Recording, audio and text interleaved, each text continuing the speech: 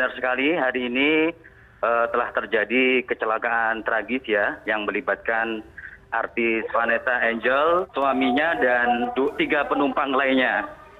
Jadi kecelakaan ini terjadi di di tol Mojokerto Jombang, tepatnya di KM 672 dan saat ini polisi masih sedang melakukan uh, identifikasi terhadap jenazah dan para korban lainnya. Lukman, apakah sudah bisa dipastikan bahwa korban meninggal dunia itu adalah uh, Vanessa Angel dan suaminya, Febri? Ya, berdasarkan data sementara yang kita peroleh dari PJR Tol di Lantas Polda Jatim, mobil yang ditumpangi Vanessa Angel ini berwarna putih dan dalam kondisi ringsek di bagian depan dan belakang. Berdasarkan kartu identitas uh, atau KTP yang ditemukan polisi di lokasi, korban diketahui atas nama vanessa azaniah dan febri andriansah atau suaminya. Keduanya dinyatakan meninggal dunia di lokasi kejadian oleh pihak kepolisian. Dan juga tiga penumpang lainnya termasuk anak pasangan selebriti ini juga dikabarkan ikut dalam mobil naas ini.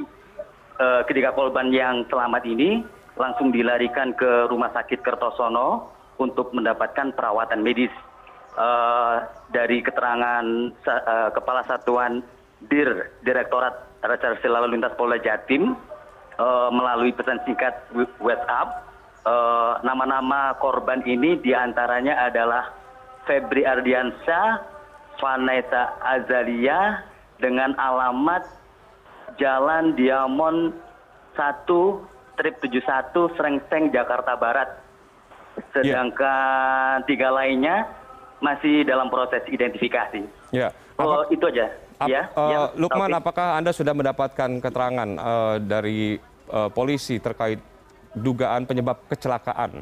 Karena ini uh, yang kami dapatkan informasinya adalah kecelakaan tunggal. Apakah begitu, betul? Ya, sejauh ini belum ada keterangan resmi dari uh, pihak polisian terkait penyebab terjadinya kecelakaan. Namun dilihat dari uh, kondisi kondisi uh, kendaraan yang ringsek di bagian samping dan depan kemungkinan besar ini adalah kecelakaan tunggal dan dugaan kuat uh, dikarenakan ada human error atau kesalahan mesin. Tapi uh, polisi masih terus menyelidiki penyebab kecelakaan ini.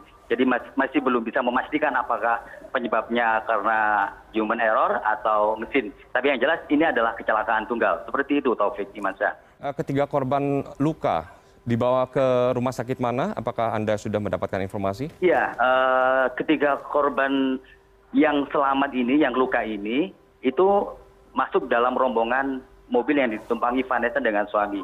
Salah satu korban itu diduga adalah anak dari pasangan selebriti ini. Dan alhamdulillah ketiga orang ini masih selamat dan uh, sekarang dirawat di rumah sakit kertosono jawa timur untuk mendapatkan perawatan medis sementara jenazah vanessa angel dan suaminya saat ini masih dalam proses penanganan dan perjalanan menuju ke rumah sakit bayangkara polda jatim untuk dilakukan autopsi dan identifikasi terhadap kedua jenazah Baik, baik. Lokman Rozak, kami masih tunggu perkembangan terbaru terkait kecelakaan yang menimpa artis Vanessa Angel dan sebelumnya terima kasih atas laporan Anda.